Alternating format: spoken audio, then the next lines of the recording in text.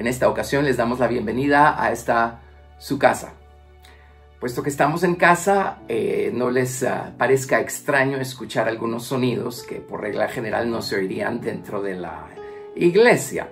Pajaritos, perros, pero eso lo hace más uh, eh, familiar también. Debido al desarrollo de los contagios, a causa del virus. Eh, se nos ha pedido permanecer en casa en estos días, así es que por eso estamos grabando desde la casa. Bueno, al fin la casa de Dios somos nosotros. Y donde nosotros estemos, ahí estará la casa de Dios. Casa de Dios no puede llamársele a un edificio que fue construido para albergar a las personas que van a adorar a Dios. El único edificio que puede albergar la gloria de Dios es la persona humana que ha sido redimida por la sangre del Señor Jesucristo.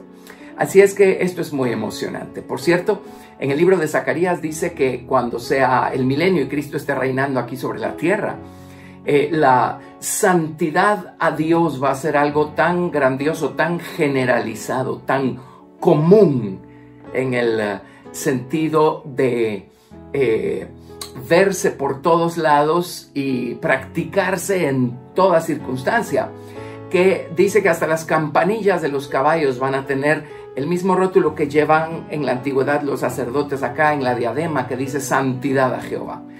Eh, el libro de Zacarías dice que hasta las ollas donde se cuece la comida en las casas van a ser tan santas como los utensilios que se utilizan en el templo también para las ofrendas a Dios.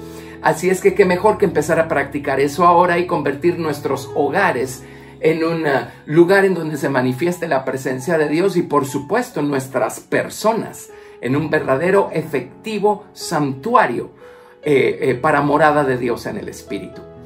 Gracias a Dios. Vamos a orar para que el Señor bendiga su palabra. Padre, en el nombre de Jesús, una vez más, te damos gracias, Padre, por el privilegio de poder venir a ti, Señor, con confianza.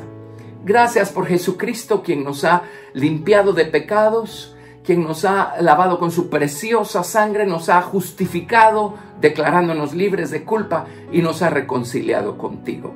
Gracias por Jesús. Es en el nombre de Jesús que venimos a ti, Padre, como hijos tuyos que hemos sido hechos.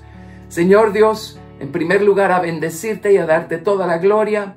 Y Señor Dios, a pedirte, Señor, que en esta mañana nos des el pan nuestro de cada día. Tú tienes una porción maravillosa que has apartado para nosotros hoy. Oramos, Padre, en el dulce nombre de Jesús, que nos des ese pan, Señor. Unge tu palabra y bendícela, Señor Dios. Eh, úngela con fuego, Señor, para que esta marque nuestra voluntad y nuestras obras puedan ser mejoradas, Señor Dios. Y en el nombre de Jesús te pedimos, Padre, Bendito Dios, que abras los ojos de nuestro entendimiento, nos ayudes a ver, Señor Dios, lo que vamos a escuchar. Háblanos a todos, Señor Dios. Ayúdanos, Señor Dios. Eh, impúlsanos, motívanos, Señor, a seguir adelante y danos la fuerza a través de tu palabra y de tu Espíritu Santo para hacerlo. Te amamos y te damos toda la gloria, Padre, en el nombre de Jesús. Amén. Muy bien, hemos estado estudiando acerca de cómo a medida que vamos eh, caminando más y más con Dios. A medida que vamos metiéndonos más y más profundamente en las aguas del río de vida, del río de verdad. En esa medida estas aguas o la verdad va afectando, transformando, convirtiendo cada área de nuestra vida. Eh, el profeta Ezequiel en Ezequiel 47, primero, eh, después de haber bebido de las aguas, metió los pies y las aguas llegaban hasta sus tobillos y esto transformó su conducta. Eh, por eso la Biblia nos uh, manda a ser hacedores de la palabra y no tan solamente oidores olvidadizos. Los oidores olvidadizos beben de las aguas, pero nunca se meten en las aguas. Muy bien, tarde o temprano las aguas crecieron de tal manera que llegaron hasta las rodillas del profeta Ezequiel. Esto significa que su dependencia hacia Dios y su eh, capacidad para hablarle a Dios y orar y buscarlo en oración. Y también su capacidad para bendecir a Dios crecieron y maduraron. El profeta aprendió a caminar con Dios de una manera más estrecha, más íntima, porque aprendió a dirigirse a Él en oración. Bueno, Él siguió metiéndose hasta adentro y las aguas llegaron hasta los lomos. Y es allí donde hemos estado en estos días pasados. Las aguas hasta los lomos van a eh, tocar nuestra determinación, nos van a dar la, la voluntad, la determinación para caminar con Dios. Las aguas hasta los lomos van a formar en nosotros la disciplina necesaria para caminar con Dios, para hacer las elecciones que debemos hacer. Caminar con Dios es para valientes, caminar con Dios es algo que debe tomarse con la debida seriedad, si es que vamos a llegar al lugar al que decimos que queremos llegar. Además, eh, las tinieblas van en aumento, la maldad va en aumento, necesitamos ser determinantes para eh, eh, afirmar nuestra elección por Dios, para afirmar nuestra vocación y así poder sobrepasar cualquier tormenta que estemos enfrentando. Bueno, resulta ser que las aguas hasta los lomos también generan en nosotros otra cosa. Eh, los lomos o muslos, en, ah, hay diferentes palabras que se traducen lomos, pero hay una que significa tanto muslo como lomo. Y la espada en la antigüedad se llevaba sobre el muslo o sobre los lomos. Así es que meternos en el río de vida hasta los lomos va a hacernos tener una espada. En otras palabras, utilizar la palabra de Dios de manera eficaz, eficiente, efectiva para pelear nuestras batallas espirituales. La semana pasada les expliqué cómo batallamos en dos frentes. Esta es una guerra de dos frentes. Por fuera tenemos a nuestro enemigo, eh, eh, que el libro de Apocalipsis describe por cuatro nombres, Satanás, Diablo, Serpiente y Dragón. Y en estos días finales eh, que estamos viviendo, estamos batallando en contra de la estatura completa de maldad del enemigo, en otras palabras, en contra de su nivel de dragón. Bueno, por fuera batallamos en contra de eso. Por fuera batallamos en contra de las tentaciones. Hay tentaciones porque hay un tentador y la tentación se encuentra afuera del hombre. Pero por dentro también se levanta una guerra. Desde el jardín del Edén, la serpiente logró meterse a la voluntad humana, a la mente humana. Y esta, esta naturaleza extraña no solo corrompió al hombre, sino que desde entonces busca señorear, busca gobernar desde adentro. Hay problemas afuera, bueno, pero a estos problemas que hay por fuera se les suman los temores que se levantan por dentro. Y la incredulidad y la resistencia rebelde que se levantan de dentro de manera natural. Eso eh, nos lo heredó el primer Adán. Así es que también tenemos que pelear una batalla eh, con esto que se levanta de dentro, con las imaginaciones eh, que se levantan de dentro y estas fortalezas mentales que buscan tomarnos cautivos.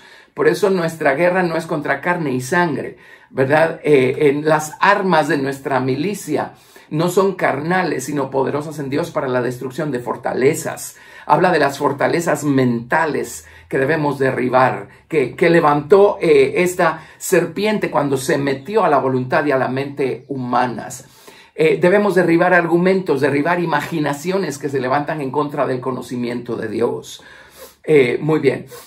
Así es que peleamos en estos dos frentes esta batalla. Hoy quiero seguir enfatizando este principio y vamos a estudiar algo muy emocionante, muy maravilloso en la palabra de Dios. Vamos a ver eh, estos ah, niveles de batalla y cómo debemos enfrentarlos hoy. Y si los enfrentamos hoy, vamos a estar preparados para salir de aquí cuando suene la final trompeta, por la vía del arrebatamiento, si es que todavía estamos vivos cuando eso acontezca y Cristo venga en las nubes a levantar a sus vencedores. Pero quiero también que veamos a través de las escrituras eh, qué cosa no vencieron aquellos que no se van a ir en el arrebatamiento. Déjenme decirles de entrada o recordarles de entrada que no todos los cristianos no toda la gente que va a una iglesia, no toda la gente que lleva el título de cristiano se va a ir en el arrebatamiento. Eso no lo estoy diciendo yo, les voy a dar las citas claras, explícitas que hay en la palabra de Dios. Ahora, eso no anula el hecho de que hay un arrebatamiento para un grupo de personas que sí van a estar listas, van a estar preparadas. Así es que vamos a ver cómo se prepararon, cómo pelearon sus batallas, tanto la batalla que se pelea por fuera como las batallas que se pelean por dentro. Y vamos a ver también dentro de esta gente que se queda a pasar la gran tribulación, hay un grupo que nos puede enseñar también lecciones maravillosas, por supuesto y lamentablemente. Ellos no estuvieron listos a tiempo y van a tener que sufrir este horrendo periodo que se llama la gran tribulación para hacer allí sus elecciones.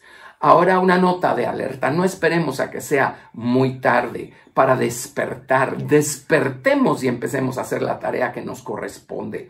Empecemos nosotros a tomar las armas de la palabra y a usarlas de manera efectiva y a pelear y a vencer nuestras batallas.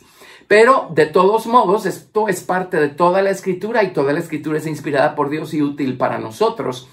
Así es que hay un grupo de los que se quedan a pasar la gran tribulación que también nos enseñan una, una lección a nosotros, también podemos aprender unos principios maravillosos. La manera como ellos vencerán al final es la manera como nosotros debemos vencer hoy. Pues cierto, ellos esperaron hasta que fue muy tarde, se perdieron las bodas del Cordero lo que significa que no van a estar en la esposa de Cristo. Sin embargo, lograron vencer al nivel al que lograron vencer. Y eso también nos uh, da una lección muy, muy práctica a nosotros. Así es que vamos a comenzar a estudiar nuestro tema y en primer lugar vamos a reforzar el hecho de un arrebatamiento de la iglesia vencedora en primera de Tesalonicenses capítulo 4 verso 15.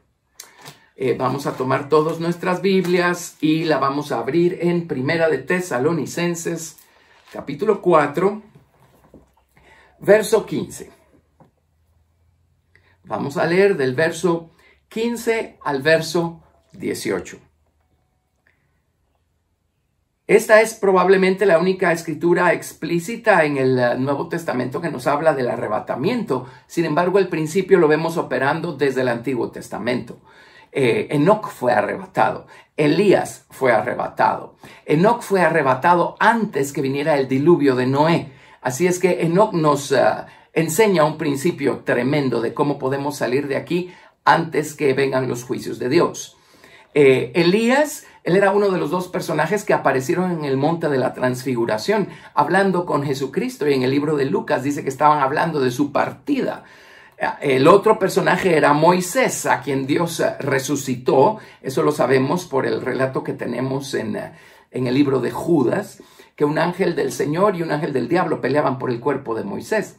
Y Moisés murió en el monte Nebo y nunca encontraron su cuerpo. Y eso es muy extraño, muy irregular si lo comparamos al cuidado que toda la vida tuvo el pueblo de Israel con el manejo del cuerpo de aquellos santos que murieron, ¿verdad?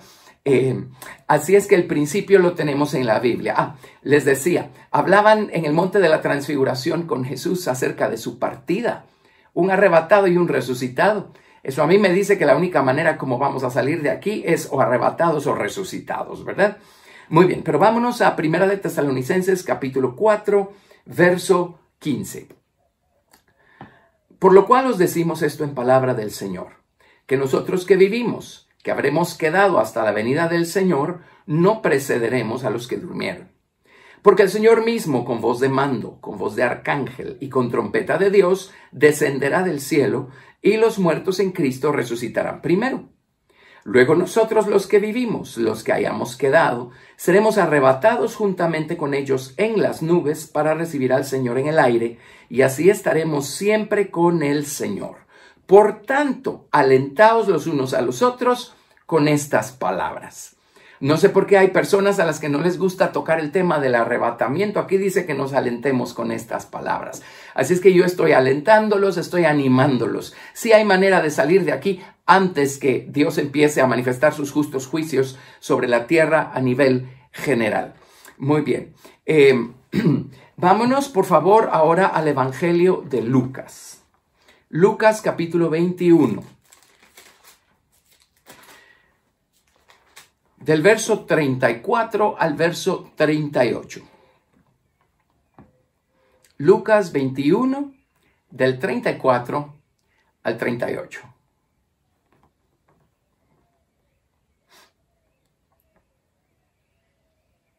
Vamos a leer. Mirad también por vosotros mismos que vuestros corazones no se carguen de glotonería y embriaguez y de los afanes de esta vida, y venga de repente sobre vosotros aquel día.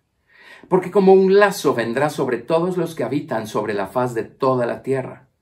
Velad pues en todo tiempo, orando que seáis tenidos por dignos de escapar de todas estas cosas que vendrán y de estar en pie delante del Hijo del Hombre. Aquí tenemos una instrucción muy clara, muy explícita. Dice, ¿quieren escapar? Aquí está lo que deben hacer para escapar. ¿Pueden escapar? Por supuesto que sí. Si están preparados para cuando suene esa final trompeta. La palabra escapar literalmente, eh, en mi Nuevo Testamento hebreo usan una palabra tremenda, es la palabra malat. Malat significa huir, significa evitar, significa desaparecer. Así es que, en otras palabras, quieren desaparecer eh, de aquí, quieren evitar los justos juicios de Dios que Dios va a derramar sobre toda la tierra. Bueno, pueden hacerlo. Miren lo que tenemos que hacer para escapar. Y en ocasiones les he dicho, hay personas que le llaman escapistas a los que están buscando salir de aquí antes de que Dios juzgue el pecado que hay sobre la tierra. Bueno, el término sale de aquí, así es que Lucas nos llama escapistas también, ¿verdad? Pero en fin, dice, mirad también por vosotros mismos. En otras palabras, nadie va a cuidar, es esto, nadie lo va a cuidar en ustedes, son ustedes mismos los que tienen que cuidarse de esto. Mirad por vosotros mismos. Nadie más puede pelear las batallas que a usted le corresponde pelear y que a mí me corresponde pelear. Mirad por vosotros mismos nos hace a nosotros responsables de nosotros mismos. Nadie más tiene responsabilidad de las elecciones que nosotros hagamos, bien o mal, o de las elecciones que dejemos de hacer. Mirad también por vosotros mismos. Peleen su batalla. Están peleando hacia afuera, en contra del tentador, en contra de la tentación. En el libro de Santiago dice claramente que cuando somos tentados, la razón por la que caemos es porque hay concupiscencia en nuestros corazones, pero la tentación viene de afuera y la tentación viene eh, eh, provocada por el mundo y su sistema. Este mundo está bajo el maligno, el maligno, el diablo. Satanás, él es el tentador por excelencia.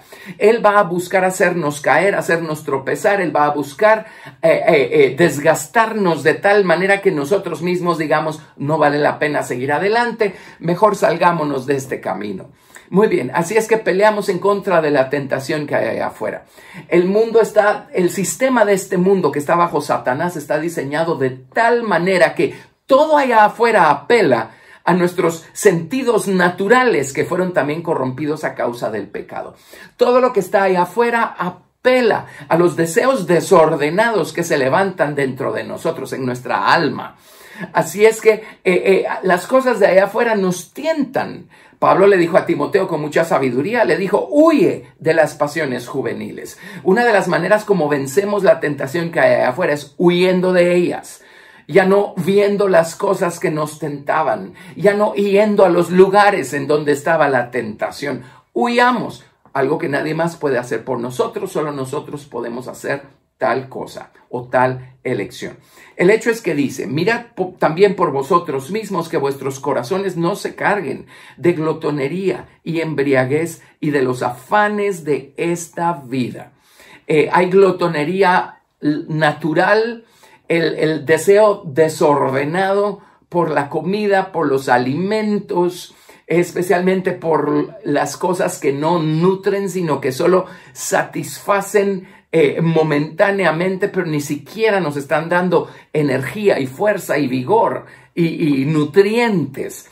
Así es que está ese lado a la glotonería, pero también la glotonería se refiere a los deseos desordenados por otras cosas, los deseos desordenados por satisfacer algo en nuestra carne.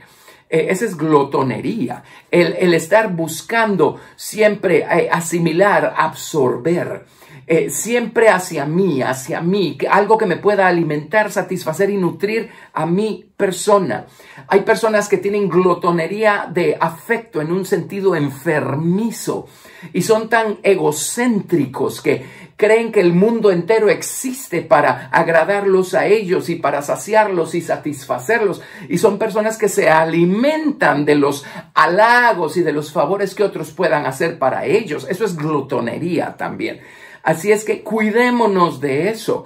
La tentación está afuera, pero la inclinación está adentro. La concupiscencia la tenemos dentro o el deseo desordenado. Para vencer por fuera tenemos la palabra de Dios. Tenemos a, Cristo en nosotros y al Espíritu Santo en y sobre nosotros para ayudarnos a tener la determinación para alejarnos de aquello que está allá afuera o con la palabra de Dios enfrentarlo y afirmar nuestro testimonio y nuestra elección por Cristo. Y eh, de esa manera puedes usar la espada para pelear contra eso que se levanta por fuera. Pero tenemos que vencer desde dentro también. Tenemos que, Cristo está en nosotros. Así es que con su ayuda tenemos que fortalecernos en Cristo. Y mientras más vaya creciendo Cristo en nosotros, más fácilmente y rápidamente, velozmente vamos a poder decir no aquí adentro. Muy bien, mirad también por vosotros mismos que vuestros corazones no se carguen de glotonería y embriaguez. Embriaguez representa el mismo principio. Podemos embriagarnos con sustancias tóxicas, por supuesto, y eso en el caso de alguien que se llama cristiano es muy penoso que suceda. Pero igualmente podemos embriagarnos de muchas cosas. Hay personas que dejan que las emociones los posean de tal manera y los gobiernen de tal manera que se embriagan con sus emociones. Hay personas que no lidian con sus enojos y, llega un momento en donde el enojo los posee y los gobierna de tal manera que actúan como personas completamente embriagadas. Muy bien, eh, así es que tenemos que mirar por nosotros mismos pelear las batallas hacia afuera y hacia adentro. Dice, y que nuestros corazones no se carguen de los afanes de esta vida. Con la tecnología moderna, el hombre cada vez tiene que correr más si quiere mantener el paso de, la economía del mundo y en los negocios y en el trabajo, es una cosa terrible.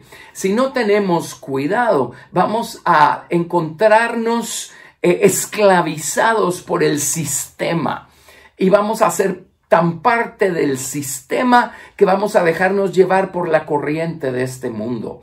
Eh, nosotros por dentro, en nuestro viejo corazón, tenemos codicia tenemos avaricia.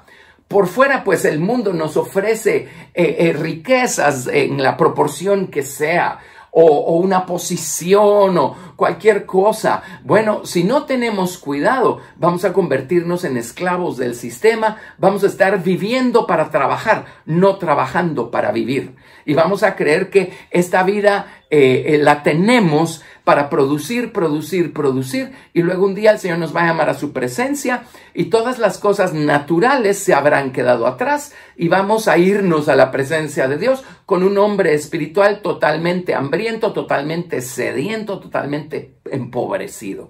Así es que no hace sentido. Tenemos que vencer estas cosas. Eh, eh, no, somos de este mundo desde el día que Jesús nos salvó, así es que no, no, no vivamos como esclavos a este mundo. Muy bien, eh, que vuestros corazones no se carguen de glotonería y embriaguez y de los afanes de esta vida y venga de repente sobre vosotros aquel día.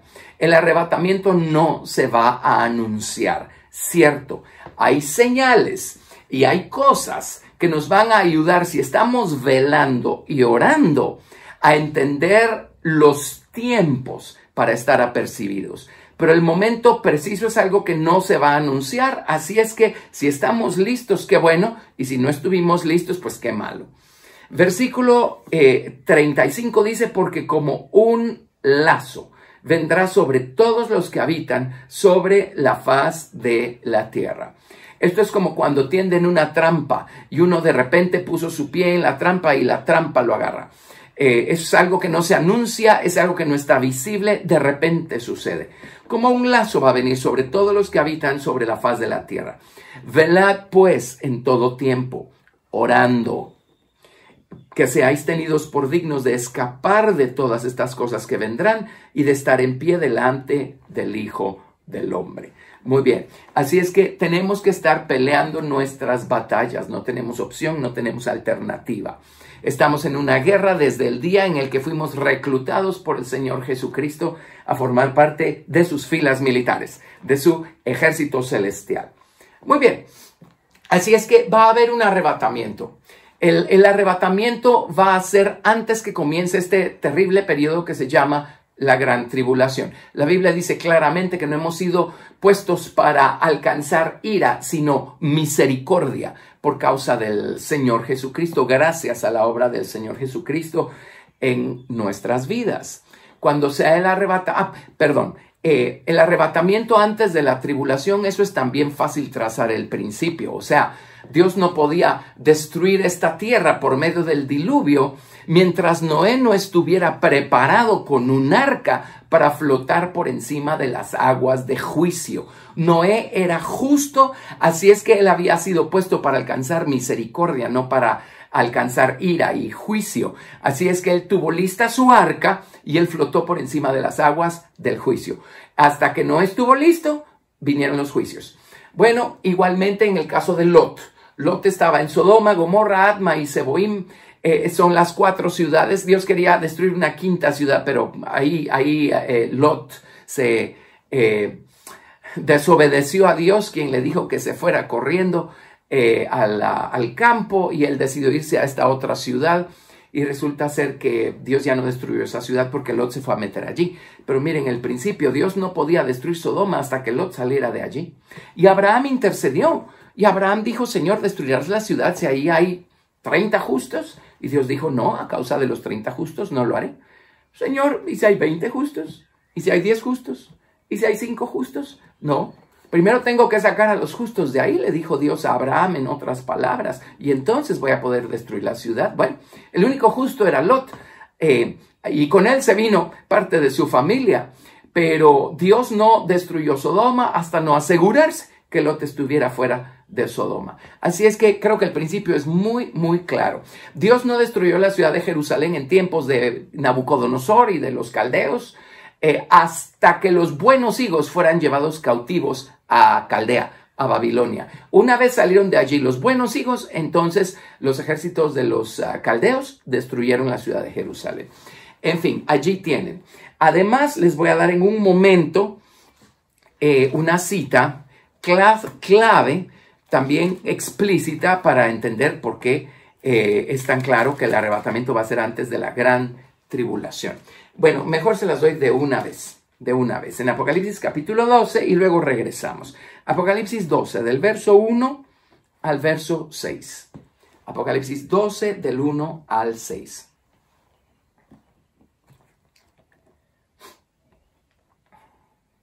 Apareció en el cielo una gran señal, una mujer vestida del sol, con la luna debajo de sus pies y sobre su cabeza una corona de doce estrellas y estando encinta clamaba con dolores de parto en la angustia del alumbramiento. También apareció otra señal en el cielo. He aquí un gran dragón escarlata que tenía siete cabezas y diez cuernos. Y en sus cabezas siete diademas. Y su cola arrastraba la tercera parte de las estrellas del cielo y las arrojó sobre la tierra. Y el dragón se paró frente a la mujer que estaba para dar a luz, a fin de devorar a su hijo tan pronto como naciese. Y ella dio a luz un hijo varón que regirá con vara de hierro a todas las naciones, y su hijo fue arrebatado para Dios y para su trono. Muy bien, y la mujer huyó al desierto donde tiene lugar preparado por Dios para que allí la sustenten por mil doscientos sesenta días o tres años y medio, que es el tiempo de duración de la gran tribulación. Es muy claro que hay un arrebatamiento antes del periodo de tres años y medio de gran tribulación. ¿Cuántos arrebatamientos hay para que pretendamos que Apocalipsis 12 del 1 al 5 se está refiriendo a otra cosa? Muy bien, esta mujer en Apocalipsis 12.1 no es María la Virgen, porque a partir del capítulo 4 Dios le mostró a Juan las cosas que serán después. Y cuando Juan escribió el Apocalipsis, ya eh, Jesús había nacido de María ya Jesús había ascendido al cielo también. Muy bien. Luego, esta mujer tampoco se puede estar refiriendo a la nación de Israel, porque eso significaría en el versículo 5 eh, que hay un arrebatamiento únicamente para el pueblo judío o para algunos que son del pueblo judío. Eso tampoco eh, es así. El hecho es que este hijo varón regirá con vara de hierro a todas las naciones. Bueno, ese resulta ser el mensaje a los vencedores de la iglesia de Tiatira. Esto nos dice a nosotros que quienes van a ser arrebatados son personas que habrán vencido, ¿cierto? En el grado que sea, en el nivel que sea. Eh, un vencedor no es únicamente alguien que llegó a la esposa de, del Señor Jesucristo en su estatura espiritual y en su relación con Dios. Podemos vencer en el nivel en el que nos encontramos. Hay personas que están en el atrio en cuanto a su experiencia personal con Dios y allí estar venciendo. En otras palabras, están haciendo la tarea, están siendo fieles con lo que saben y lo están practicando. Luego, habrá personas que están al nivel del lugar santo en su experiencia con Dios, que están venciendo, están siendo fieles eh, eh, con la verdad que tienen y la están poniendo por obra. Y luego, por supuesto, va a haber vencedores a nivel del lugar santísimo. Son personas que fueron responsables con lo que aprendieron eh, no solo en teoría, sino por experiencia, y están teniendo eh, eh, la experiencia, están usándolo, están venciendo. Todas estas personas van a encontrarse donde Dios esperaba que se encontraran en el momento en el que sea el arrebatamiento. En el arrebatamiento se van a ir personas del atrio, del lugar santo, del lugar santísimo, por supuesto que sí. Por eso en el libro de Apocalipsis encontramos allá en el cielo eh, eh, mención de personas que están vestidas de vestiduras blancas eh, simples. estas son las vestiduras o el cuerpo resucitado que tienen los creyentes que salieron del atrio. Hay descritas personas que están vestidas con vestiduras blancas dobles. En castellano no se nota la diferencia, pero si tiene un diccionario griego la va a notar con total claridad. Estas son personas del lugar santo, también están allá con sus cuerpos resucitados. Las vestiduras son nuestros cuerpos resucitados. En el libro de Corintios dice Pablo que vamos a ser revestidos de esta nuestra habitación celestial, ¿verdad? Muy bien. Y también encontramos en el libro de Apocalipsis un grupo de gente vestido de lino fino. Esta es la esposa del Señor Jesucristo, que cuando sean las bodas es quien se va a casar con Jesús. Los demás pues van a estar allí de invitados, observando, participando de la ceremonia. Muy bien, así es que hay vencedores a todos los niveles, pero el hecho es que quienes van a ser arrebatados son aquellos que Dios encontró venciendo cuando fue el arrebatamiento. Como les digo, no importa en el grado que sea, estaban venciendo. Eh, supieron pelear sus batallas, las de afuera, y supieron pelear sus batallas, las de adentro. Entonces, ¿quiénes son los que no se van en el arrebatamiento? Pues aquellos que no estaban venciendo. Perdón que lo diga, pero las personas que fueron eh, eh, dejadas, desidiosas, haraganas, perezosas, descuidadas, las personas que no tomaron en serio este camino, las personas que fueron salvas por gracia y misericordia de Dios, pero nunca agradecieron con la profundidad suficiente la experiencia que tuvieron de tal manera que la tomaron, la manejaron como una cosa común, como una cosa muy liviana. Esas personas definitivamente no estarán venciendo cuando eh, la trompeta final. Así es que hay cristianos que se van a quedar a pasar la gran tribulación aquí abajo. Eh, ahora veamos qué va a pasar con todos estos cristianos. Apocalipsis 6, versículo 9 es el primer grupo que se menciona acá. Apocalipsis 6, 9. Por eso hay una, una gran contienda, ¿verdad?, entre los cristianos. Algunos dicen todo, todos los cristianos se van a ir en el rapto. Pero luego vamos a ver todo este montón de gente que menciona Apocalipsis que está aquí en la tierra pasando la gran tribulación. ¿Qué hacemos con ellos?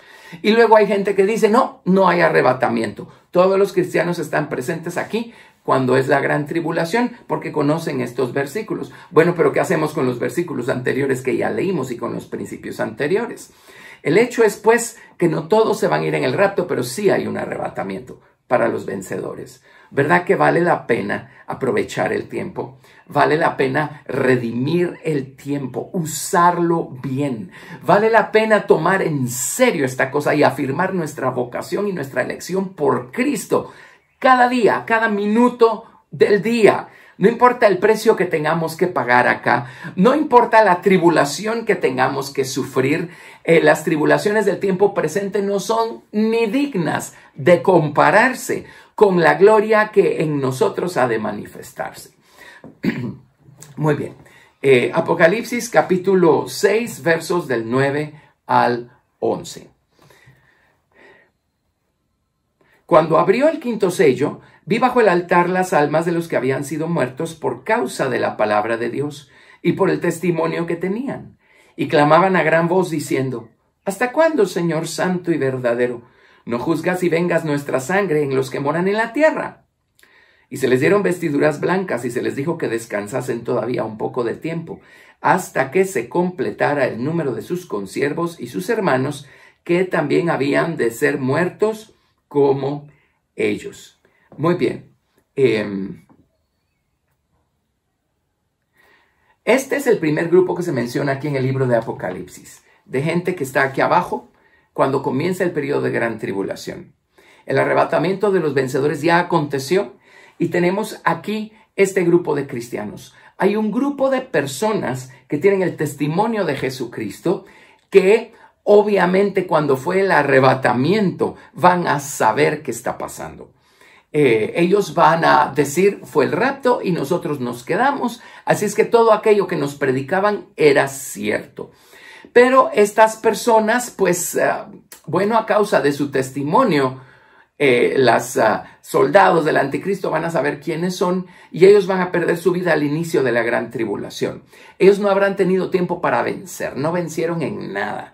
Eh, simplemente van a saber que eran cristianos y por el hecho de llevar el título los van a matar. Ellos van a morir como mártires al inicio de la gran tribulación. No solo no vencieron mientras tuvieron tiempo para vencer, tampoco tuvieron el tiempo de la tribulación para afirmarse por Cristo y pelear la batalla y no dejarse marcar por el anticristo. O sea, no vencieron, pero ni antes ni después. Esta gente, a esta gente les dada o, les presentan sus vestiduras blancas, simples. Eh, y eh, les dicen esperen. En otras palabras, mueren durante la gran tribulación. Ellos eh, no han sido resucitados, ellos van a ser resucitados mucho después. Dice, esperen, todavía no pueden vestir sus vestiduras blancas porque esos son sus, ah, eh, sus ah, ropajes de resurrección. Esperen mientras se completa el número de sus consiervos. Eh, los vencedores están en los cielos y esta gente acaba de perder su vida. Pues ya se perdieron esa fase de la primera resurrección, ¿verdad? Ellos van a tener que esperar a ser resucitados bastante más adelante. No me meto a eso porque tendría que explicárselos con amplitud y quiero llegar a otra cosa. Eh, muy bien, pero estos son cristianos que van a morir al inicio de la gran tribulación, como mártires. Ahora, una cosa es morir como mártires y otra cosa es morir como vencedores, pagando con nuestra vida por las elecciones firmes que hayamos hecho. Este primer grupo, ellos mueren únicamente como mártires, ellos no mueren como vencedores. Eh, así es que se quedarán en el atrio por toda la eternidad, ¿verdad? En un nivel muy, muy básico. La Biblia habla de personas grandes y pequeñas que van a estar en el reino de los cielos. Pues aquí tenemos un caso clásico de personas que eternamente se habrán quedado pequeñas. Nosotros no queremos ser de ese grupo y sin embargo, pues habrá gente en ese grupo porque aquí están mencionados. Muy bien. Esa es, la primera mención de creyentes que pierden su vida al inicio de la gran tribulación. Como les digo, no vencieron mientras tuvieron el tiempo y tampoco vencieron durante el periodo de gran tribulación. Los matan al principio, mueren como mártires y fin de esa historia. Muy bien, eh, regresemos a Apocalipsis 12. Y vamos a leer aquí a partir del verso 13. Apocalipsis 12, verso 13. Cuando vio al dragón que había sido arrojado a la tierra, persiguió a la mujer que había dado a luz al hijo varón. Y se le dieron a la mujer las dos alas de la gran águila para que volase de delante de la serpiente al desierto, a un lugar donde es sustentada por un tiempo y tiempos y la mitad de un tiempo, tres años y medio. Y la serpiente arrojó de su boca tras la mujer agua como un río, para que fuese arrastrada por el río. Pero la tierra ayudó a la mujer, pues la tierra abrió su boca y tragó el río que el dragón había echado de su boca. Entonces el dragón se llenó de ira contra la mujer y se fue a hacer guerra contra el resto de la descendencia de ella, los que guardan los mandamientos de Dios y tienen el testimonio de Jesucristo. Aquí tenemos la mención de este otro grupo de creyentes, o dentro de los creyentes están los que matan al inicio de la gran tribulación, y está también gente a quienes Dios eh, de una manera especial, sobrenatural, esconde y sustenta durante el periodo de gran tribulación. Ahora, también aquí se menciona gente a quienes el dragón va a estar persiguiendo durante el periodo de gran tribulación. Aquí vamos a encontrar dos clases de actitudes, porque la Biblia dice claramente, increíblemente, desde la profecía de Daniel, se nos habla del anticristo y que él va a hacer guerra contra los santos y los va a vencer. Pues a los que ya murieron martirizados los venció de una manera muy fácil. Pero entre la gente que no muere al principio de la gran tribulación, también va a haber personas que lamentablemente va a vencer el anticristo. El poder del anticristo va a ser extremadamente engañoso. De hecho, los espíritus de anticristo son tan engañosos que solo déjenme mencionar esto. Eh, dentro de algunas doctrinas que se presentan como cristianas, ve uno el error y el engaño del anticristo detrás en algunos principios que se están enseñando. Muy bien, así es que si eh, ese eh, poder engañoso es tal que muchos cristianos están tomando ciertos principios como si fueran verdaderos y vinieran de Dios, que cuando se levante la persona del anticristo. Así es que hay creyentes que se van a dejar seducir, hay creyentes pues que van a morir, ¿verdad? En, diferentes momentos a lo largo del periodo de gran tribulación. Pero si el anticristo hace guerra contra los santos y los vence, esto significa que eh, simplemente eh, no pudieron más con la presión, con el error, con el engaño y probablemente muchos de ellos se van a dejar marcar por eh, la bestia. Déjenme insertar algo acá. Hay personas que nos han escrito. Yo agradezco tanto que nos estén escribiendo, tanto para dar las gracias por toda la palabra que nos está siendo dada como para hacer preguntas. Lo agradezco muchísimo. Pero varias personas han preguntado acerca de los acontecimientos actuales. Estamos en medio de una pandemia. Es algo que no esperábamos, pues al, menos nosotros, a lo mejor había gente que sí, los científicos, quién sabe. Pero pues, ¿esta pandemia cuánto va a durar? Pues depende. O hasta que se infecte un porcentaje altísimo de la población y todos desarrollemos anticuerpos, o hasta que salgan con una vacuna que nos inmunice a todos después que nos vacunen. Entonces un par de personas me han preguntado, porque pues ustedes saben, siempre hay tantas teorías de conspiración y todo eso. Y por cierto, una nota de alerta. Eh, no, no perdamos el tiempo con especulando de cómo va a ser y cómo puede ser, porque por regla general el 99% de las veces fue pérdida de tiempo la especulación, ¿verdad? Eh, eh, una de las especulaciones es que cuando salgan con la vacuna, sin decirnos nada, en la vacuna van a poner un microchip y con la vacuna eh, del antivirus nos van a insertar un chip y a través del chip pues eh, se va a transmitir toda la información de lo que somos y hacemos y van a poder controlarnos. Entonces hay personas que ya están eh, eh, sufriendo al pensar que si se vacunan o no, y si sí se vacunan, van a insertarles este microchip y entonces habrán recibido la marca de la bestia y ni siquiera se dieron cuenta. Eh, déjenme decirles, hace poco en nuestro estudio del Salmo 119 estudiamos la última letra del alfabeto hebreo, la letra Taf. Taf significa señal o marca y les animo a, escuchar ese estudio porque hablamos acerca de la manera como Dios marca a los suyos y de la manera como el diablo y el anticristo van a marcar a los suyos. Y esta marca del anticristo va a ser algo mucho mayor que un microchip que le van a poner a la gente sin pedirles permiso. En el libro de Apocalipsis claramente vemos que las personas que van a adorar al anticristo son aquellos cuyos nombres no están escritos en el libro de la vida del Cordero. Ahora, hay dos maneras como eso puede llegar a suceder. Número uno, que el Señor haya borrado nuestros nombres del libro de la vida. Eh, hay, varias ocasiones en donde dice, no borres nuestros nombres. Moisés le dijo al Señor, después de, de lo del becerro de oro, le dijo, Señor, borra mi nombre del libro de la vida. Y, Dios le dijo a Moisés, Moisés, al que pecare contra mí, eh, el, nombre de esa persona voy a borrar, pero tu nombre no lo voy a borrar del libro de la vida.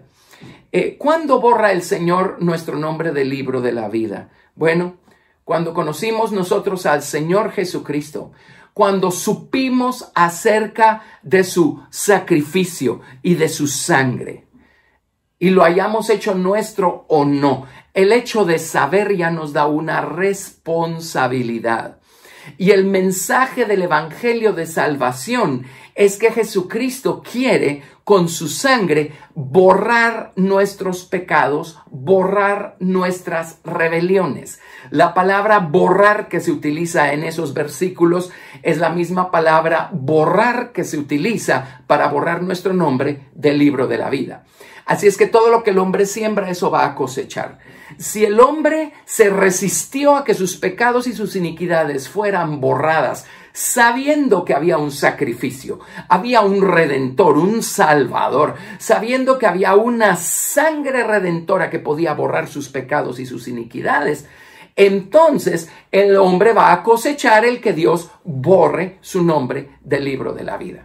Si hay cristianos que se van a dejar marcar en el periodo de gran tribulación, será porque negaron al Señor Jesucristo y negaron el, poder de esta sangre que puede borrar sus pecados y sus iniquidades. Entonces el Señor borró sus nombres del libro de la vida. Eh, eh, esa es la primera razón por la que el nombre de alguien no está en el libro de la vida. Y la segunda razón, ya hay un versículo en Apocalipsis muy claro que habla de aquellos cuyos nombres no estaban escritos en el libro de la vida del Cordero desde antes de la fundación del mundo. Se refiere a sus nombres no escritos desde antes de la fundación del mundo. Ahora hay razones para esto. Esto no contradice el hecho que Dios no quiere que nadie se pierda, sino que todos procedan al arrepentimiento, pero obviamente hay razones que vienen de muy atrás, de allá atrás, de las eternidades, la eternidad Kedem, la eternidad Olam. Obviamente viene de allá atrás. Ahora, es una cita que está en la Biblia, tiene que tener una razón, tiene que tener una explicación. Solo les estoy diciendo lo que dice su Biblia. Muy bien. Así es que si nosotros somos creyentes en Cristo y estamos caminando con Dios, ya no calificamos para que nos pongan la marca de la bestia. Así es que quites ese peso de encima. Y luego, número dos, es durante el periodo de gran tribulación que van a estar marcando a la gente, no antes. Eh, eh, el arrebatamiento, si estuvimos venciendo eh, cuando fue el arrebatamiento, nos vamos a ir de aquí, así es que no tenemos que preocuparnos por esa marca. Y déjeme decirle lo que va a pasar con los que sí se quedan aquí. Pues los que son vencidos por el anticristo de manera que son engañados, pues bueno, ni modo, hicieron una malísima elección y obviamente su amor por Cristo y su relación con Cristo fue muy superficial toda la vida. Dejemos a un lado a esa gente. Los que mueren martirizados al principio de la gran tribulación, a ellos no les ponen la marca, porque no es desde el mero principio de la gran tribulación que empiezan a marcar a la gente, es un poco después. Es ya habiendo entrado este mundo en ese periodo que el falso profeta viene y empieza a decirle a la gente que adoren a la imagen de la bestia y empieza a marcarlos con eh, el nombre y el número de su nombre. Muy bien. Ahora, número dos. Hay cristianos aquí en la tierra que a pesar de haberse quedado a pasar la tribulación, no se van a dejar marcar porque saben mejor. Algunos, pues, Dios los va a tener guardados y escondidos de manera sobrenatural, como leímos en Apocalipsis 12. Pero luego hay otro grupo que es en el que queremos enfocarnos, que es gente que no se va a dejar marcar sabiendo que van a pagar esto con su vida. Y efectivamente pagan con su vida. Al final de la gran tribulación o ya para llegar el cierre del periodo de gran tribulación, los decapitan, los matan, pero no se dejaron marcar. Así es que de acuerdo, murieron, pero déjenme decirles algo, murieron venciendo. Se convirtieron en vencedores. Fue un poco tarde que despertaron no vencieron cuando tuvieron tiempo, pero bueno, fue el arrebatamiento y dijeron, muy bien, perdimos la primera vez, pero esta vez no vamos a perder. No tomamos esto en serio la primera vez, pero ahora, esta es nuestra última oportunidad para tomar esto en serio. Y esa gente no se va a dejar marcar. Así es que un verdadero cristiano no se va a dejar marcar. Eh, Apocalipsis, vamos a ver. Em, Capítulo 13. allí es donde tenemos el relato a partir del uh, verso 11 de cómo el uh, falso profeta va a empezar a marcar a la gente, ¿verdad? Eh, Apocalipsis capítulo 13 a partir del verso 11. No se los voy a leer, eso lo pueden leer ustedes en casa. Pero ya están marcando a la gente. Bueno, perdón, mejor si les leo algo porque necesito decirles otra cosa y quiero que estemos empapados con esta información. Eh, vamos a ver, versículo 14, Apocalipsis 13, vamos a leer desde el verso 14. Están hablando del falso profeta. Y engaña a los moradores de la tierra con las señales que se le ha permitido hacer en presencia de la bestia, eh, mandando a los moradores de la tierra que le hagan imagen a la bestia que tiene la herida de espada y vivió. Y se le permitió infundir aliento a la imagen de la bestia, para que la imagen hablase e hiciese matar a todo el que no la adorase. Nuevamente, los únicos que la van a adorar son aquellos cuyos nombres no están escritos en el libro de la vida del Cordero. Em, eh, vamos a ver, eso está en Apocalipsis 13.8, por cierto. Eh, Apocalipsis 13.8 dice, y la adoraron todos los moradores. Bueno, leamos desde el 7. Y se le permitió hacer guerra contra los santos y vencerlos. También se le dio autoridad sobre toda tribu, pueblo, lengua y nación. Muy bien, así es que vence a los santos que mueren al inicio de la gran tribulación. Va a vencer a algunos que aunque lleven el título de cristianos y todavía estén vivos, eh, van a terminar sucumbiendo, sucumbiendo y adorando a la bestia. Eh, pero hay otros que van a vencer.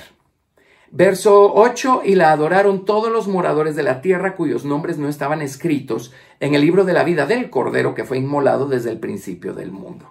Esa es la gente que va a adorar a la bestia.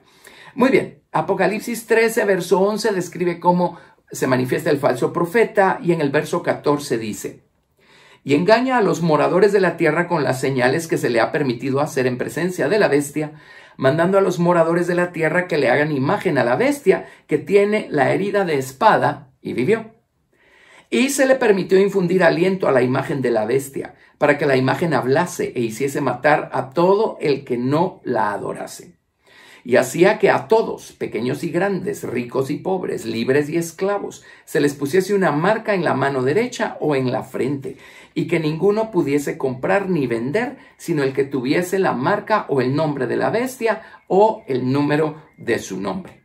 Aquí hay sabiduría, el que tiene entendimiento cuente el número de la bestia, pues es número de hombre, y su número es 666.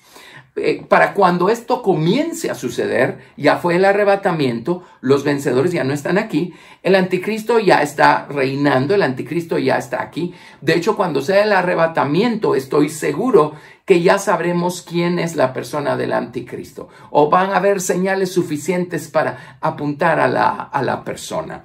Todavía vamos a ver muchas cosas mientras Dios nos tenga aquí abajo, pero a la gente la van a empezar a marcar hasta después que sea el arrebatamiento y hasta que el anticristo haya establecido firmemente, entre comillas, su trono. Muy bien, así es que eso, eso no va a acontecer todavía. Entonces, oiga lo que dice. En el eh, capítulo 14 habla de los famosos 144 mil, ¿verdad? Pero saltémonos en el capítulo 14 al verso 13. Y acuérdense, ya empezó este proceso de marcar a la gente, ya el falso profeta está haciendo su tarea, están marcando a todos aquellos cuyos nombres no están escritos en el libro de la vida del Cordero. eh, Apocalipsis 14, 13. Oí una voz que desde el cielo me decía, escribe. Bienaventurados de aquí en adelante los muertos que mueren en el Señor. Sí, dice el Espíritu, descansarán de sus trabajos porque sus obras con ellos siguen. Muy bien. Hay, principios acá, no estamos haciendo planes para quedarnos a pasar la gran tribulación, pero sigue siendo la palabra de Dios y siguen siendo principios que nos ayudan a nosotros. Pero eh, literalmente en el momento histórico en el que eh, se ubica esto, o el contexto histórico, está diciendo, miren, una vez comiencen a marcar a la gente, a partir de allí, quienes no se dejen marcar van a pagar con su vida. Ahora, esto significa que van a estar dispuestos a pagar el precio, cualquiera que esto sea. Esto significa que están dispuestos a pelear la batalla, están dispuestos a pelear, están dispuestos a vencer de la manera que sea el hecho de ser marcados. No se van a dejar marcados, no importa si lo tienen que pagar con su vida. Entonces está diciendo, bienaventurados los que a partir de aquí mueren en el Señor. Una vez comienza la acción de marcar a la gente, allí. La gente que va a vencer va a tener que ponerse firme, ser determinada, ser disciplinada, va a tener que vencer sus batallas allá afuera en contra del dragón y el anticristo y el falso profeta y va a tener que vencer sus batallas internas también. Eh, va a tener que vencer sus propios temores, eh, sus debilidades, su incredulidad. Esta gente va a pagar un precio. Ahora, a ellos les va a tomar tres años y medio hacer lo que nosotros hemos estado haciendo por años. Entonces no nos quejemos, agarremos esto en serio. Muy bien. Pero a partir de que empiecen a marcar a la gente, dice, bienaventurados los que a partir de ahorita mueren en el Señor. Esa es la gente que va a tomar una postura firme y va a decir, yo no me voy a dejar marcar. Por eso ellos van a morir como vencedores y vamos a ver qué pasa. ¿De acuerdo? Ahora recuerden, ya fue el rapto. Esta gente está aquí en la tierra, no se fue en el arrebatamiento. Las bodas del Cordero van a ser ahí arriba. Esta gente está aquí abajo. Así es que es gente que no va a estar en la esposa. E, el caso de ellos prueba pues que hay vencedores a todo nivel, pero no todos los vencedores van a estar en la esposa necesariamente. No importa en el nivel que estemos, podemos estar venciendo.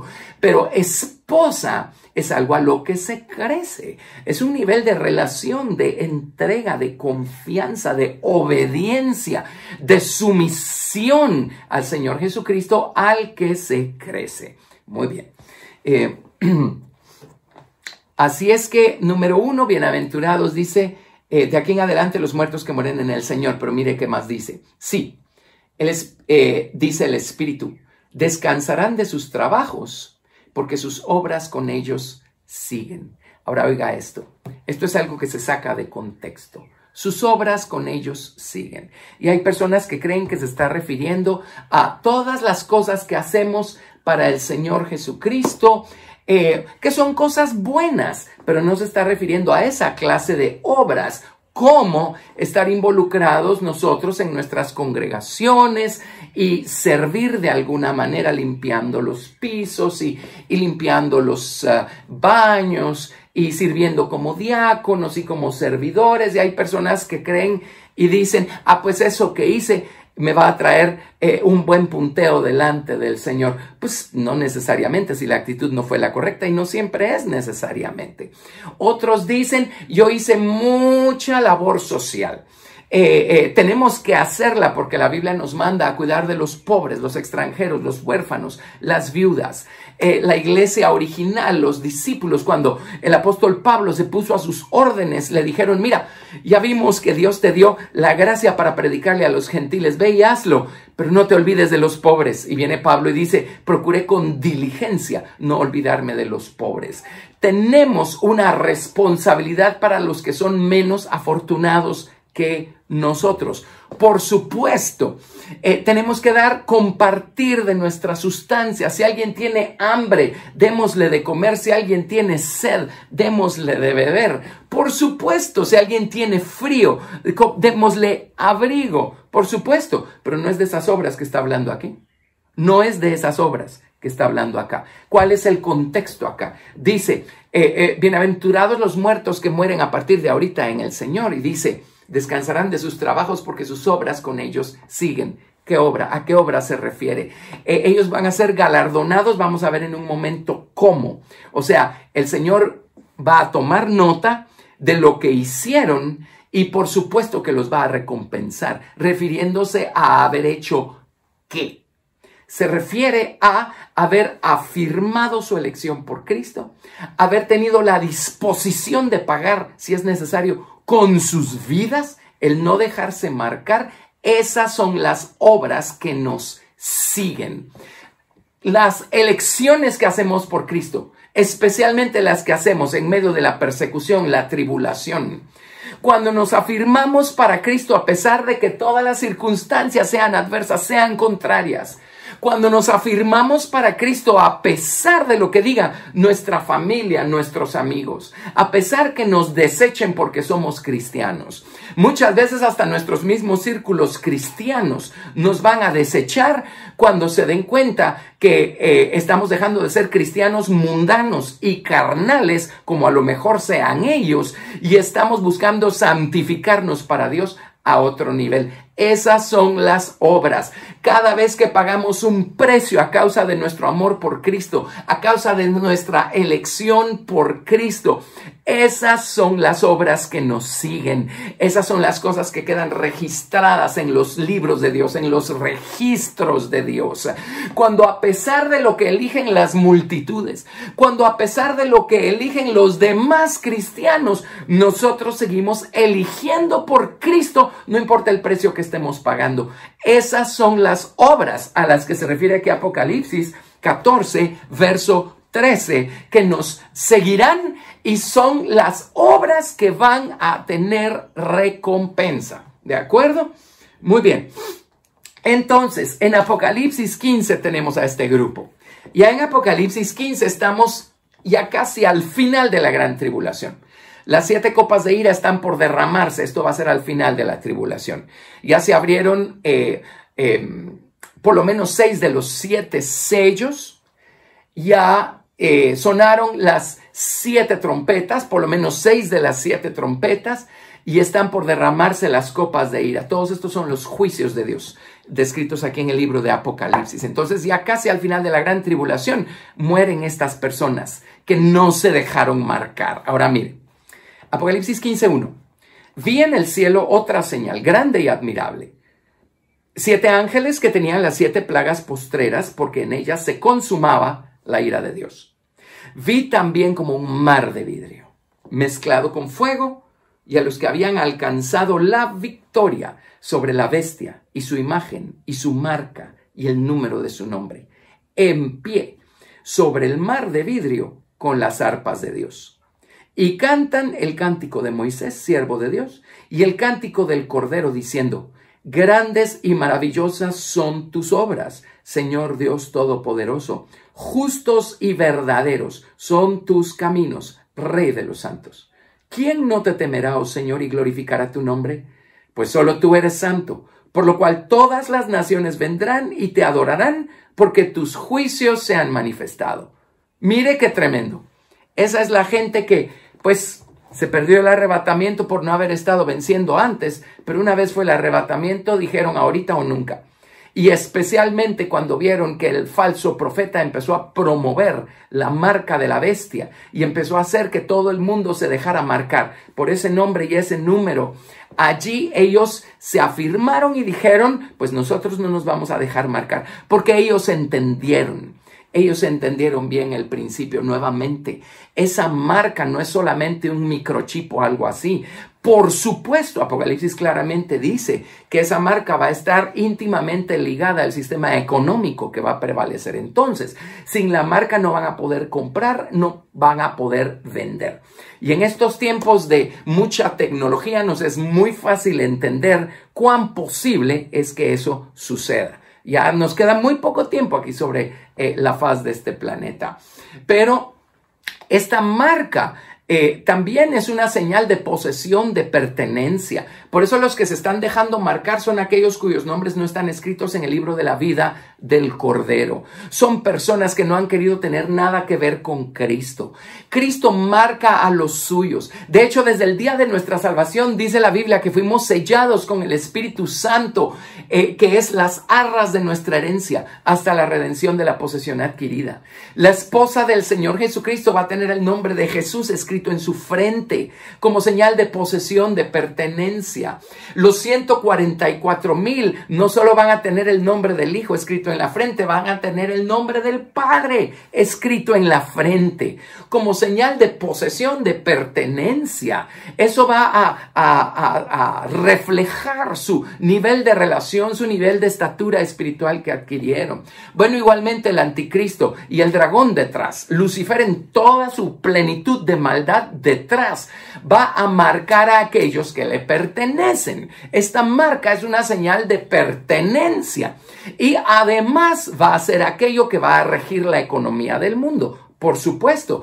Ahora, estos vencedores que se quedaron aquí, pagaron con su vida al final de la gran tribulación, pues ellos si hubieran visto en esa marca únicamente algo práctico que les dejaba ir al supermercado y comprar sus cosas, pues a lo mejor no hubieran sido tan firmes con su decisión.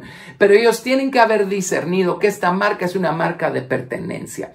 Ellos tienen que haber discernido que la gente que se está dejando marcar es porque le está dando toda su lealtad y devoción al anticristo y al dragón. Así es que ellos que le pertenecen a, Jesús, estos vencedores, dijeron, no, nosotros solo queremos un nombre escrito en nuestra frente y es el nombre de nuestro amado Señor Jesucristo. Vamos a tener que pagar con nuestra vida por esto, pero no nos importa, habrá valido la pena. Muy bien. Entonces analicémoslos porque pues mueren al final de la gran tribulación. Más adelante vamos a ver que murieron decapitados. Pero dice verso 2, vi un mar de vidrio mezclado con fuego y allí estaban los que habían alcanzado eh, la victoria sobre la bestia y su imagen y su marca y el número de su nombre. Estaban en pie sobre este mar de vidrio. Mire qué cosa. En el tabernáculo de Moisés había una fuente de bronce en el atrio. Si dibujamos la estatura de Cristo, eh, en, haciéndola coincidir con los muebles del tabernáculo, el altar de bronce, precisa, o perdón, la fuente de bronce o el lavacro precisamente coincide con los lomos. En el templo de Salomón, pues había diez lavacros en el atrio para lavar los sacrificios, pero había un mar de bronce sobre doce bueyes, en donde los sacerdotes se lavaban las manos y los pies. Así es que ellos en su experiencia espiritual, pues llegaron hasta allí, hasta el mar de bronce, hasta la experiencia de, de, de la fuente de agua, sí, pero miren todo lo que, todo lo que aprendieron, todo lo que hicieron suyo. El, hecho de que están sobre este mar de bronce significa que ellos tuvieron las experiencias que representa eh, la fuente de bronce o el mar de bronce en el caso del templo de Salomón. Era un mar de agua o hielo mezclado con fuego. Y ustedes recordarán, pues, en el mar de bronce o en la fuente de bronce está tipificada la experiencia de nuestro bautismo en agua. Cuando somos bautizados en agua, pues el agua no tiene ningún poder, pero somos bautizados en el nombre o en la naturaleza o en el poder del nombre del Señor Jesucristo. Eh, Pablo dice en Colosenses, si hemos sido bautizados en Cristo, de Cristo estamos revestidos. Bueno, en el libro de Colosenses también dice que el bautismo en agua es lo que opera la circuncisión del corazón. Ahí dicen Colosenses que cuando somos bautizados en agua, somos circuncidados con una circuncisión no hecha a mano, sino en la circuncisión de Cristo. Cuando Cristo quita de nosotros el cuerpo del pecado, cuando Cristo empieza a eliminar esas capas duras de pecado que hay alrededor de nuestro corazón. Es allí donde nuestro corazón comienza a ser circuncidado, en el, en el la fuente de bronce o el mar de bronce, o en el bautismo en agua. Esta gente se quedó a pasar la tribulación porque, entre otras cosas, pues nunca habían experimentado la circuncisión del corazón. Y eh, podemos ser bautizados por fuera, pero necesitamos que el nombre del Señor Jesucristo comience a tratar con la dureza que hay dentro de nosotros. Comience a quitarla del camino comience a quitar de en medio todo este pecado que hay en nuestro viejo hombre, en nuestro viejo corazón. El, mar de el mar aquí sobre el que están estos vencedores se describe como lleno de hielo mezclado con fuego. E, el hielo, el hielo habla de muerte, lo frío de la muerte, y el fuego pues habla de vida, ¿verdad? El calor de la vida. Y es necesario pasar por situaciones humillantes que nos mortifican, para que nuestro corazón sea circuncidado, el viejo corazón. De la misma manera como es necesario también experimentar cosas poderosas, grandiosas y muy altas, ¿verdad? Eh, cosas que, que hacen vivir más a Cristo en nosotros para que nuestro viejo corazón sea circuncidado. Estas personas durante el periodo de gran tribulación se metieron a buscar a Dios de tal manera que dijeron, Señor, Si cuando tuvimos tiempo no dejamos que tú circuncidaras nuestro viejo corazón, si cuando tuvimos tiempo lo malgastamos y lo malusamos y lo desperdiciamos viviendo para satisfacer nuestra carne. Nunca te negamos, Señor, pero tampoco fuimos cristianos espirituales. Si cuando tuvimos tiempo vivimos como cristianos mundanos, como cristianos carnales, si cuando tuvimos tiempo no nos santificamos para ti y nunca clamamos por un cambio, por una circuncisión de corazón, ahora lo hacemos, Señor. Y empezaron a buscar a Dios y dejaron que tanto la muerte como la resurrección, la crucifixión y la resurrección de Cristo operaran un cambio interno esperaron a que fuera bastante tarde. Nosotros no debemos esperar, pero ellos esperaron, pero al menos encontraron el camino para dejar que sus corazones fueran circuncidados. Y Dios pudo cambiarlos por dentro, pudo hacer una obra en ellos por dentro durante este periodo de persecución, eh, mientras ellos se escondían y pagaron eh, con su vida el uh, no dejarse marcar por el anticristo. Así es que están en pie sobre ese mar de vidrio mezclado con fuego. Están dándole gracias a Dios porque, pues, tuvieron que experimentar mucha humillación, pero también experimentaron exaltación durante este proceso. Cierto, pagaron un precio tremendo, pero le están dando gracias a Dios porque al fin valió la pena. Aunque esperaron muy tarde, pero pues finalmente hicieron lo que tenían que hacer y valió la pena. ¿Qué más están haciendo? Ah, tienen arpas, tienen arpas. Esto significa que mientras hubo tiempo, de alguna manera, nunca aprendieron a cantarle a Dios o a cantarle a Dios más allá de cantarle por las cosas básicas. ¿Cuántos de nosotros le cantamos a Dios solo por las cosas básicas? Especialmente cuando Dios ha hecho algún milagro a favor nuestro. Señor, gracias por lo que hiciste. Gracias porque me bendijiste. Gracias porque me diste. Gracias porque me supliste. Cuando solo cantamos a ese nivel, un día vamos a pasar por una situación difícil como por ejemplo una pandemia mundial y muchas veces se nos va a ir nuestro canto y en vez de cantar vamos a estar diciendo, Señor, ¿por qué? Señor, ¿hasta cuándo? Señor, ¿por qué tenemos que sufrir esto?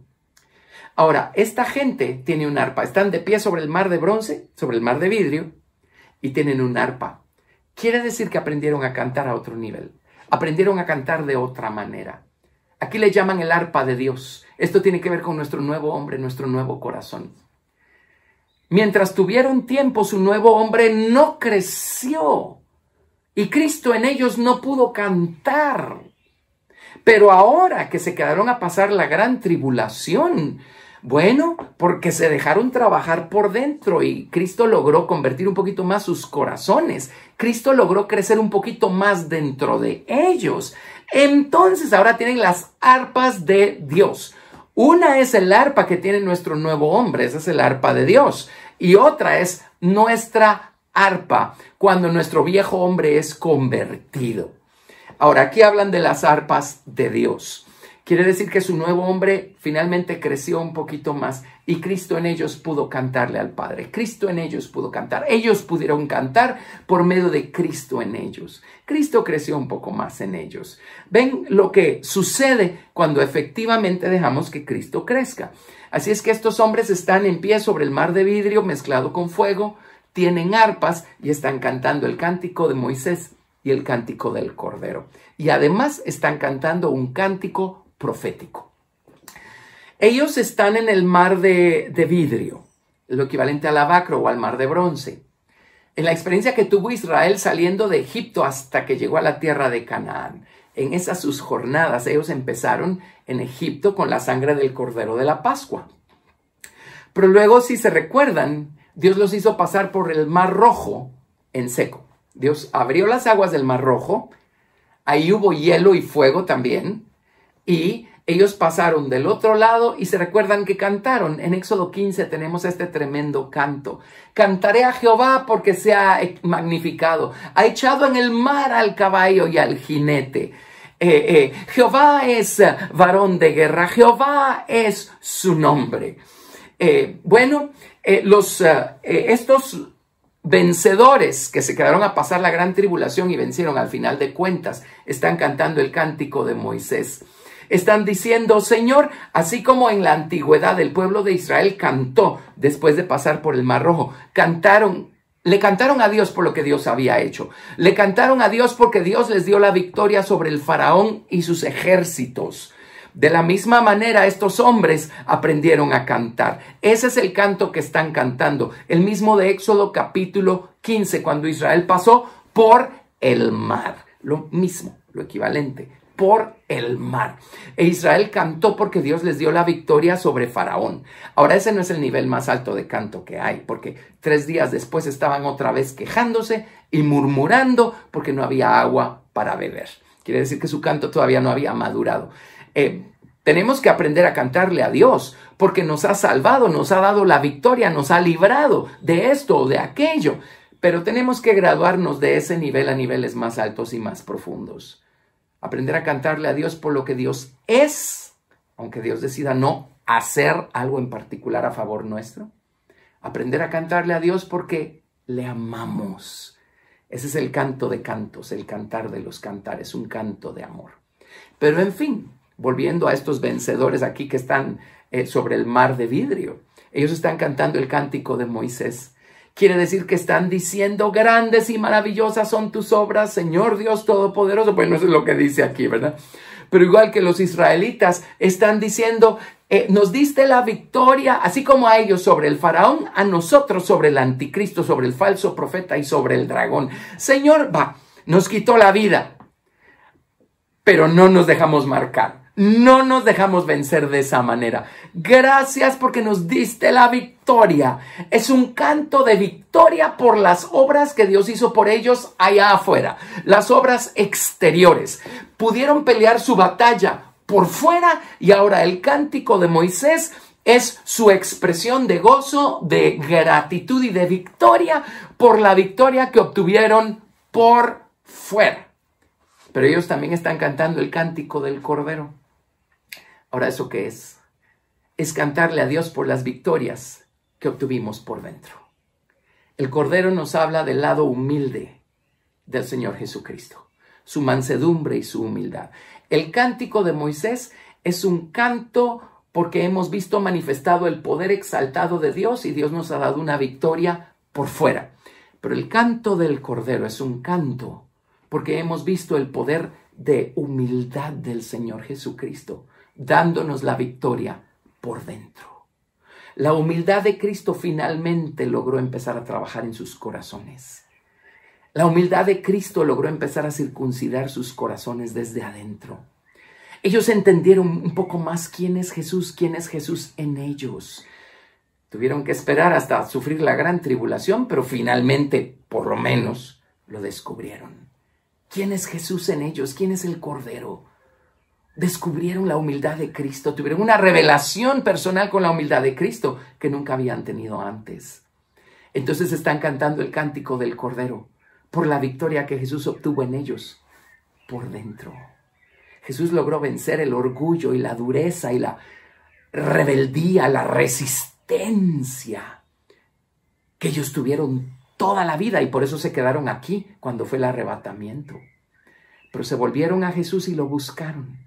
Y el Cordero de Dios logró vencer dentro de ellos esta resistencia rebelde, este orgullo, esta insensatez. Así es que están dando gracias con el cántico de Moisés a Dios por la victoria que obtuvieron por fuera. Y gracias con el cántico del Cordero al Señor Jesucristo por la victoria que Jesús obtuvo dentro de ellos. Qué maravilla, ¿verdad? Bueno, sumado a esto, cantaron un canto profético, dice al final, ¿quién no te temerá, oh Señor, y glorificará tu nombre? Pues solo tú eres santo, por lo cual todas las naciones vendrán y te adorarán, porque tus juicios se han manifestado. Y dijeron, ya entendimos, Señor, ya entendimos. Todo este tiempo estuviste tú tratando con el hombre para que el hombre despertara y eligiera consciente y voluntariamente hacer lo correcto, Señor Dios, pero no todos oyen, no todos atienden. Ellos mismos no atendieron lo suficiente a tiempo. Pero Señor, ya entendimos. Si del lado de la misericordia, como has buscado atraer a los hombres toda la vida, los hombres no responden, pues vas a tener que revelarte a ellos del lado de tus justos juicios. Si no responden de una manera, van a responder de otra. El hecho es que tarde o temprano, todo mundo te va a conocer. Tarde o temprano, todo mundo va a saber quién eres. Tarde o temprano. Ahora, ojalá que nosotros seamos, y gracias a Dios, lo somos muchos de nosotros, quienes respondemos del lado de la misericordia. Pero el resto del mundo, pues Dios va a tener que manifestar sus justos juicios y van a tener que conocer a Dios del lado de la ira. El hecho es que lo van a conocer. Por eso dice, eh, todas las naciones vendrán y te adorarán. Pues eso no se ha cumplido todavía. Tiene su momento, tiene su cumplimiento. Pero ellos habrán esperado todavía más que los que se quedaron a pasar la gran tribulación. El resto, pues lamentablemente van a tener que irse al lago de fuego para saber quién realmente es Dios. Y eh, las experiencias que tengan allí finalmente van a arrancar de ellos la confesión de eh, que Jesucristo es el Hijo, es ah, Dios para gloria del Padre. En otro lado dice, toda rodilla se doblará y toda lengua confesará que Jesucristo es el Señor, para gloria del Padre. Pues todavía no ha pasado, pero va a pasar, va a pasar. Muy bien, Ahora, terminemos con esta gente. Apocalipsis 20. Cuando Jesucristo venga en su segunda venida, que es cuando va a venir a poner sus pies sobre la tierra y va a pelear la batalla de Armagedón y la batalla en el valle de Edom y va a juzgar a las naciones en el valle de Josafat o el valle de la decisión. Eh, eh, cuando Jesucristo venga, antes que Jesucristo ponga sus pies sobre la tierra, esta tierra va a ser limpiada con fuego, lo dice la Biblia. Por lo que los habitantes que estén todavía en la tierra van a tener que ser levantados. Es allí donde estos vencedores van a ser resucitados y transformados, porque cuando Cristo venga y establezca su reino, a ellos les promete reinar juntamente con su esposa. Pues ellos nunca llegaron a ser parte de la esposa de Cristo, pero el Señor está consciente porque sus obras con ellos siguen. El Señor vio su determinación y el precio que pagaron para no dejarse marcar, entonces los va a recompensar permitiéndoles reinar con Cristo y con la esposa de Cristo durante el milenio. Así es que los tiene que resucitar en algún momento, ¿verdad? En Apocalipsis 19, verso, verso 4 dice, y vi tronos y se sentaron sobre ellos los que recibieron facultad de juzgar. Y vi las almas de los decapitados por causa del testimonio de Jesús y por la palabra de Dios, los que no habían adorado a la bestia ni a su imagen, y que no recibieron la marca en sus frentes ni en sus manos, y vivieron y reinaron con Cristo mil años. Sus obras con ellos los siguen. Y nuestras obras nos siguen cada vez que nos paramos firmes por el Señor Jesucristo. Ahora no esperemos a que sea demasiado tarde y nos quedemos aquí a sufrir la gran tribulación para pagar con nuestra vida el, precio de, vencer al anticristo. Mucho menos tiene sentido esperar irnos al infierno y al lago de fuego para finalmente saber que Jesucristo es Dios. ¿Qué estamos haciendo con el tiempo que Dios nos ha dado? Ciñámonos los lomos, seamos determinantes, seamos disciplinados y caminemos con responsabilidad este camino. Seamos responsables en echar mano, en utilizar todos los recursos espirituales que el Señor ha puesto a nuestro alcance y seamos lo que Dios nos ha llamado a ser y seamos responsables con lo que sabemos, con lo que hemos aprendido. Sé que esta lección nos va a servir a muchos de nosotros, va a disipar muchas dudas, así es que pues qué bueno Gracias a Dios por su maravillosa palabra. Vamos a orar. Padre, en el nombre de Jesús, te damos gracias. Siempre nos instruyes, siempre nos enseñas, siempre nos corriges. Padre, ayúdanos a nosotros a dejarnos corregir. Ayúdanos, Señor Dios, a afirmar nuestra vocación y nuestra elección por Cristo. Ayúdanos, Señor, a ser determinantes. Ayúdanos a tener los lomos ceñidos con la verdad. Ayúdanos a tener esa espada ceñida en nuestros lomos para poder usarla cuando sea momento de usarla. Ayúdanos, Señor, a ser determinantes Y ayúdanos, Señor Dios, a no olvidar que esta clase de determinación tiene su recompensa. Esta clase de obras son las que nos van a seguir y van a ser recompensadas, Padre. Gracias por tomar nota de cada ocasión y de cada momento en el que elegimos levantarnos y elegir por ti y pelear, batallar en contra de las fuerzas que se nos dejan venir desde afuera y en contra de toda esta carne que surge de dentro de nosotros. Ayúdanos a seguir peleando en nuestras batallas, Padre, te lo pedimos. Gracias por Jesucristo en nosotros. Te damos toda la gloria, Padre, en el nombre de Jesús. Amén.